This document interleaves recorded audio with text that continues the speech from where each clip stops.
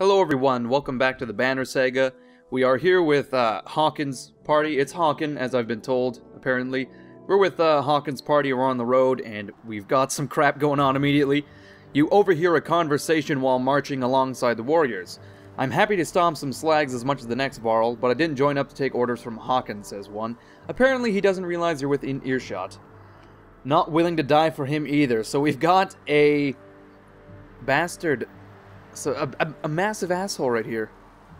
He just he's insubordinate and he does not want to take orders from us uh, because we were thrust upon him, I guess. What he's not realizing is that that responsibility was thrust upon us as well. it wasn't exactly our choice either, but we can make our presence known, but walk on.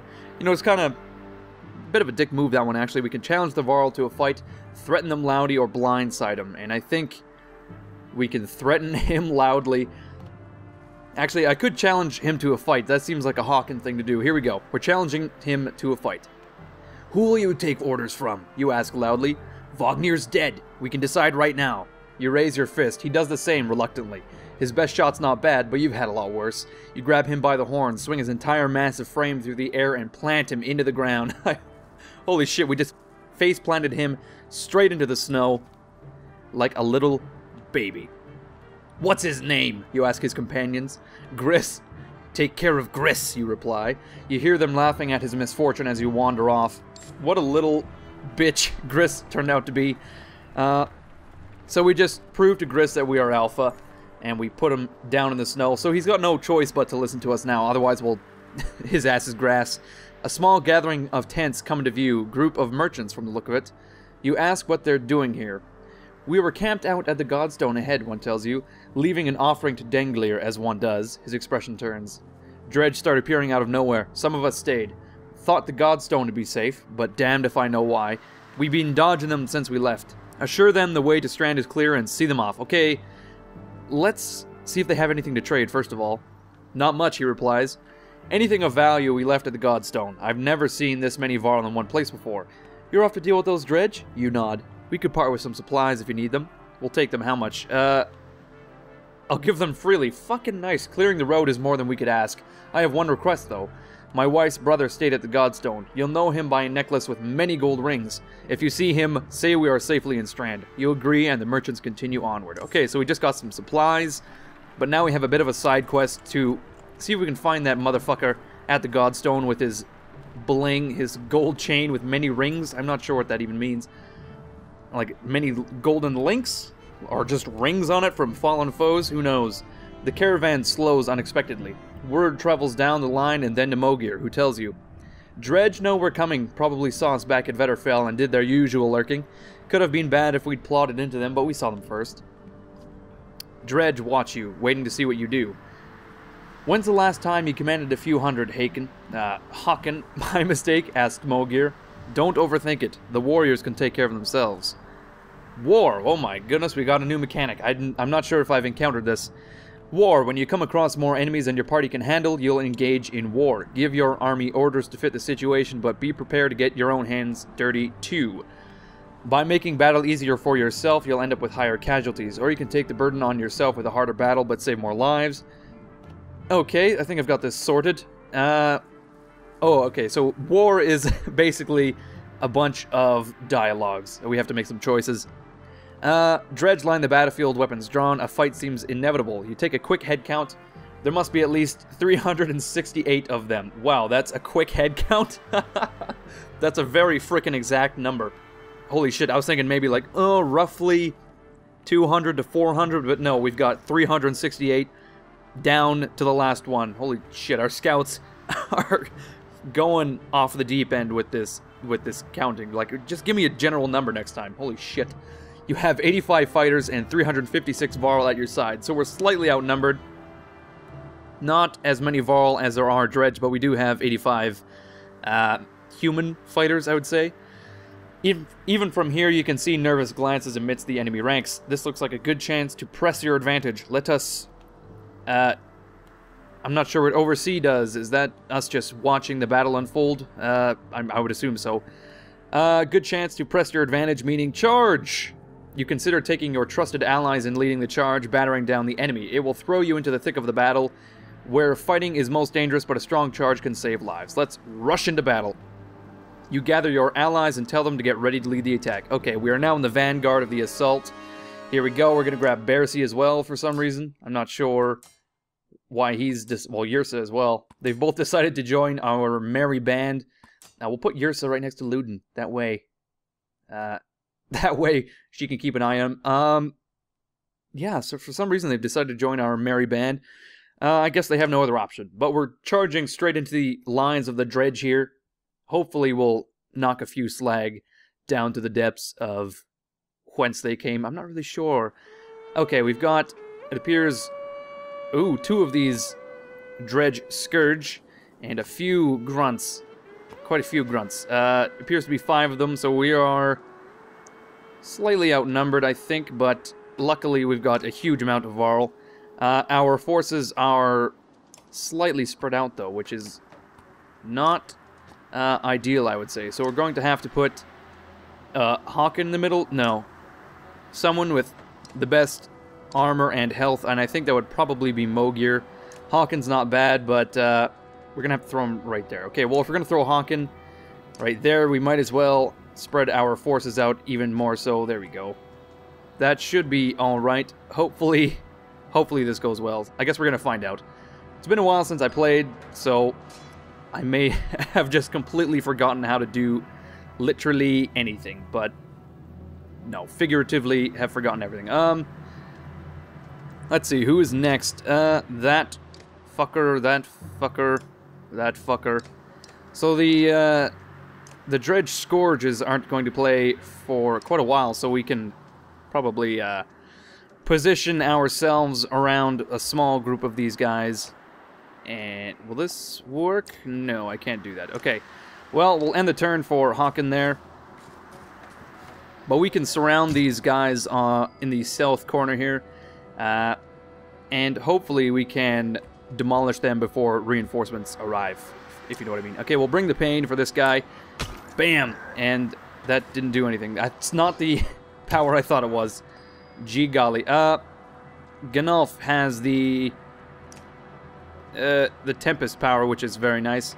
I just got to get him into position in the middle of a bunch of guys, but unfortunately it's not going to happen right now. So I might as well attack this Grunt right here, and we'll knock his strength down four points, immediately bringing him, uh, weakening him, so he can't really do much damage. Uh, Ludin, though, is going to be a little useless this battle, I think. Um, he might be able to do a bit of damage to some of these guys over here. Like I said, we'll try to corner uh, as many of these dredge in the in the corner uh, as we possibly can, whilst we can. The scourges are moving next, though, which is not fantastic. Uh, luckily, Yadrissa, Yrsa, my mistake, is well positioned here and is defended from this Scourge. We're going to take a few points of armor off this guy so that Mogir can cut him down to size next turn. And, okay, uh, Bersi is able to move. I'm not sure what skills Bersi has. He also has Tempest. Um, and I'm sure he can do a little bit of damage to this Dredge here, but not much. Uh, we might as well knock a few armor points off. There we go. Now, the Scourge is going to attack Hakon. And he's done 7 damage. Holy shite, that is quite a lot of damage right off the bat. Um, I'm sure we can actually do quite a bit to this guy because he doesn't have much armor. Sundering Impact, we'll, uh, we'll test this out, see how well this does. Wow, it was kind of split the damage there. Not the greatest, uh, but I'm sure Mogir can take this guy down to size right the fuck now. Six points, seven points of health, strength rather. And there we go, that Scourge is pretty much out of the game. Uh, I suppose Hakon is also out of the game, though. He only has 5 strength. Um, here we go. We'll get Gunnulf to have this grunt strength yet again. And now we've... Oh, shit. Hakon is getting the shit kicked out of him. Uh, we could probably move him anytime soon now, I would think. Uh, but Ludin is going to get the decisive killing blow on this uh, Scourge here. Which I'm sure just impresses the fuck out of Yrsa here. She's uh, currently fawning and... Well, look at this. She's right next to him. And she is fawning over his uh, skills. And you know what? That's not a very good move for Yrsa because she can't actually uh, shoot anything, but that's just fine for now. We are quickly getting surrounded, though, by these dredge. Gnolf is losing quite a lot of health. He's going to have to pull back soon. Gnolf and Hakon are nearly out of the game. Uh, Gnolf only has 8 points. Hakon having 4. Not ideal, but Bersi can knock an additional 5 strength off this Grunt, having his strength, and he has that special uh, passive ability where if you damage one unit and it is standing next to another, it uh, that unit also loses health there. That's what that was. I think that's Splinter or something to that effect. But Hakon is a little worse for wear here, so it can only do 4 armor breaking on that dredge. But I'm, I'm sure that eventually we'll be able to knock that guy out. And I think Mogir might be able to assist us here a little bit. Um, he's going to attack this guy for 8 strength, which will most definitely knock him out of the battle. And I think I will actually leave that grunt for now. I'm going to have to use Gnolf to uh, strengthen this line here. I'm going to have to move him over here. And we're going to try to seal up our lines whilst uh, these dredge come to fuck up our day. Ludin can move uh, nowhere effectively. He can move here to knock out that grunt, but we really only want to attack that guy, so we'll just have to seal up those lines even further. So we've got one useless dredge back here and another that is very nearly out of the game already. And now we just need to deal with the uh, the oncoming attackers. Uh, Yrsa gonna shoot this guy for a whopping three armor breaking, amazingly. There we go. And, uh... Fucking Gnolf is taking a shit kicking, as I previously mentioned, but, um... I think Bersi is to have to march forward as he has uh, probably the majority of... No, actually, Mogir is at full health as well. Um, no, unfortunately, Bersi can't attack anything here. Uh, I just wanted to move Bersi out from the back of the lines so he can absorb... Oh my shit. Holy fucking Christ. That's uh, out of the uh, game, basically. He's only got three health left. Thanks to that Scourge just fucking his day. Um, unfortunately, Hakon only has three strength, so he can't do much damage, but we can most definitely take a few armor breaking points off of that uh, that grunt there, rather. Uh, is going to have to move up to absorb some of these hits as well. We're going to knock... Uh, actually, let's take a look. Bring the Pain See, I thought that was that shield bash ability that Ivor has, but I think it's Ivor has that that ability. But anyway, um, Mogir is going to have to do only three strength damage to this grunt. We need to peg these guys' strength down quite a bit because they're just smashing through our um, our Varl's armor right now. It's not the greatest, but we're going to get Gnolf to do a Tempest. We'll see how this does. Not bad. only three points damage total, not very good, but uh, Hakon is now able to apparently deflect the majority of the damage that is incoming from those two grunts, which is exactly what we intended. Oh, shit. I need to get Ludin over near to that Scourge, but uh, that's as far as we can go. I'm actually going to move Ludin right here. They can attack that... Ooh, well, we'll knock out this grunt right here. And, uh, we'll have to deal with the rest uh, as they come. Gnolf only has one strength damage, not the greatest. I think we're probably going to uh, lose this battle. a lot of our heroes are going to get knocked out uh, as a result of this. I guess we just weren't uh, weren't ready for this, but uh, we're to knock four strength off this grunt, thanks to Yrsa. And now, uh, hopefully... No, that's it for Gnolf. Gnolf is down. He's a first to fall. I think Bersi is most likely the second because we have this Scourge here to deal with, uh, and we don't have too many opportunities to knock this guy down. He's got massive armor and massive strength, and there goes Bersi. Um, Hakon is to move to replace uh, Gnolf, I suppose, and then uh, probably not do much. We can take some strength off of this grunt, but or rather some armor off this grunt, and that's about it. Uh, this guy's going to deflect once more off Hakon. And Mogir is going to have to engage this Scourge, I think. As he is our strongest unit, and he can knock uh, two strength off this Scourge, unfortunately. I was hoping it would be more, but he's got too much armor. Uh, Mogir is about to take a shit kicking, though, and that's not the greatest. But Ludin is about to save the day. he's got to pierce the heart of some of these uh, grunts. And for example, we're going to knock down this grunt to one strength. There we go. That will slow the remaining units. Uh, I think that's the end of Hakon. Oh shit! Hakon has survived yet another onslaught. He is a steel wall this battle. He is just deflecting blades left and right. Uh, I don't think he's even wearing armor, so those blades are just uh, sliding right off his bulging biceps, and that's really freaking hot. Uh, that's the sexiest thing I've seen all day. Um, Hakon has no choice but to knock out one of these grunts, so he's going to have to knock out this really weak guy, and there's an 80% chance that it... Uh, oh, shit. I thought he would be able to knock out that Scourge, but or that Grunt, rather. But of course he wasn't able to due to his strength. Mogir uh, will have to continue to peg this Scourge. Another... Uh, we'll do some armor damage, actually. Two points of armor damage there. And uh, here we go. Hakon is just continuing to deflect those uh, those blades. Holy moly. Now Ludin is going to be able to do quite a bit of damage to this Scourge, I would say. He's been a fairly decent damage dealer this battle, and there we go. Seven points of damage to that Scourge, and I think we've actually got this in the bag. Uh, all it took was uh, Gunnulf and Bersi biting the dust, but uh, we've come out successfully in this this battle. 90%, my god. Come on, Yrsa. There we go, one point. Uh, Hakon can continue to uh, absorb this damage and um, attempt to slay some of these grunts. There we go. There's one down. Three more to go. Oh, oh, Hakon, it's it's getting pretty close there, buddy.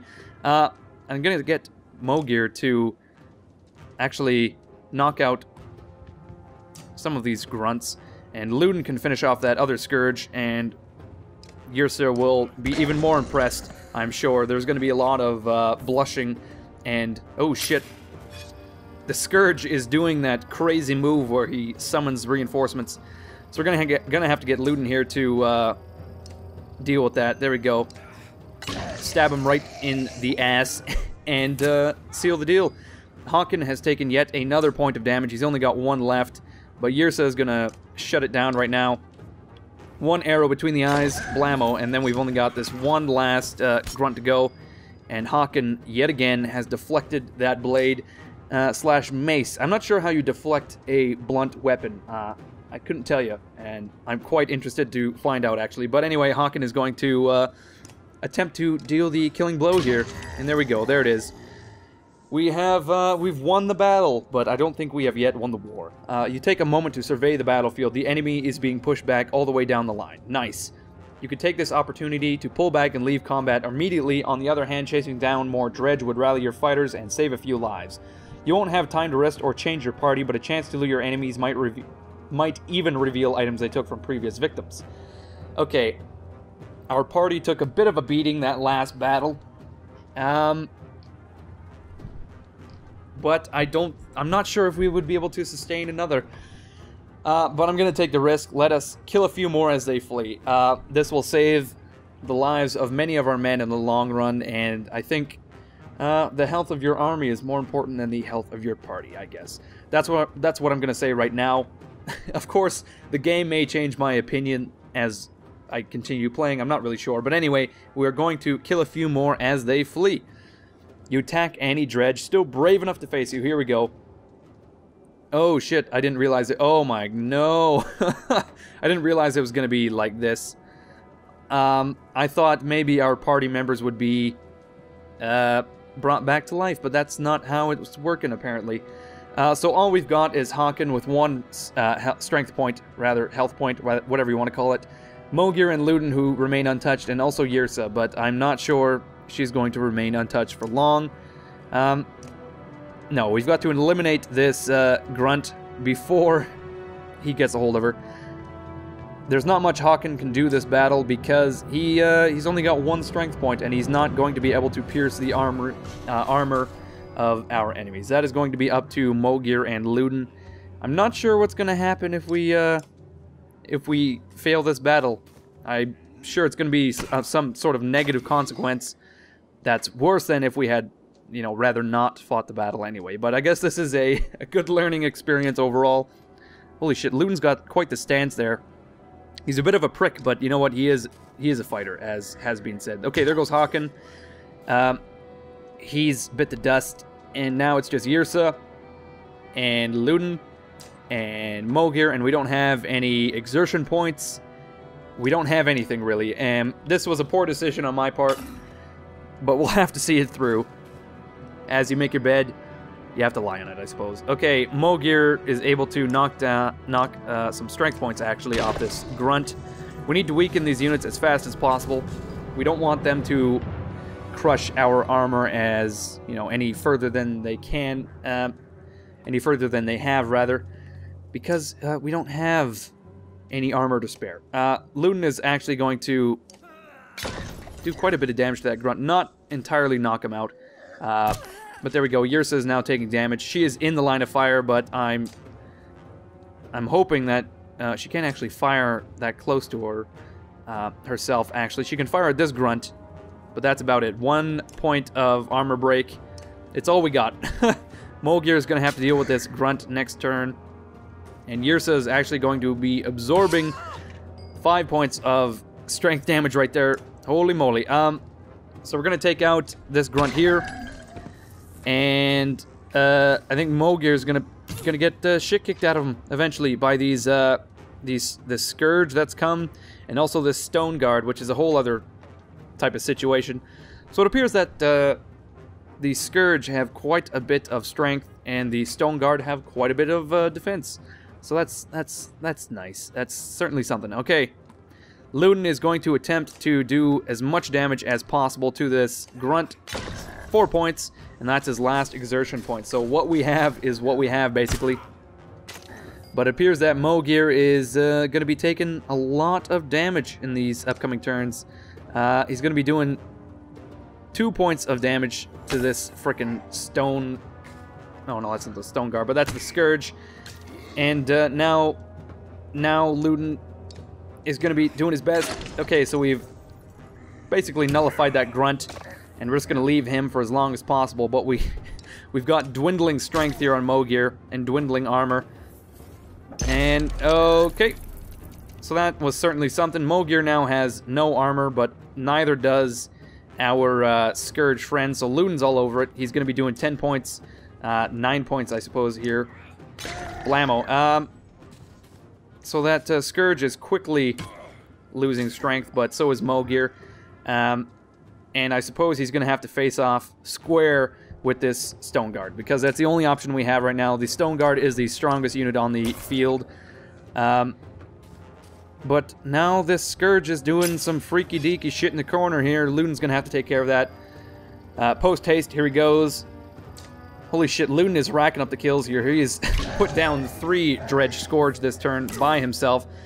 And now that's that's all it is. It's just Ludin and this Stone Guard. If he can pull this off, uh, well, I might just shit my pants right where I stand. Uh, but it's not looking good. One point, two points of armor damage there, and the Stone Guard is too strong for Ludin. It's quickly going south. Um, there we go.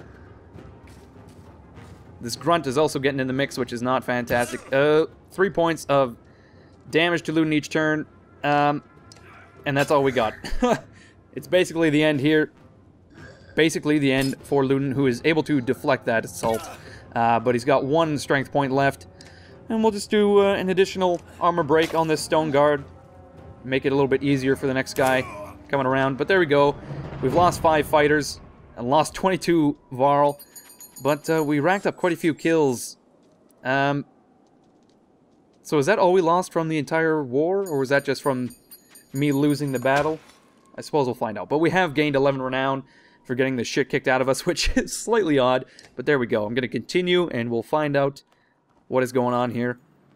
Okay, apparently, um, we didn't lose too many fighters. You black out as you fall and come to again amongst the warriors who were able to escape the battle. They carried you from the scene. You've lost a lot of good warriors. Not much left to do but push on. Okay, so there doesn't seem to be much um, repercussions to losing that battle, uh, other than my party, of course, is injured. But uh, given one day, three days, three days max, our party will be uh, up and running at max capacity yet again. Three days though, that's quite a long time.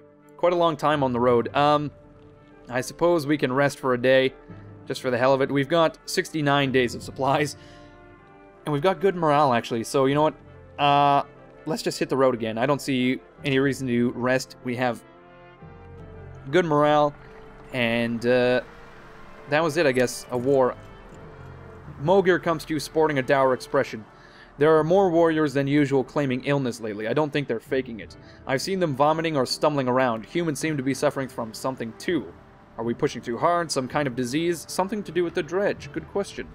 I doubt Mogir would know, but I can't prove anything, but I think some of the rations may have been poisoned. Before you can respond, he continues. Don't spread paranoia. It may be nothing.